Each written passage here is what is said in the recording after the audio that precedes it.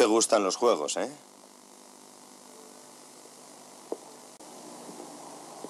Ya ha llegado. En el autobús.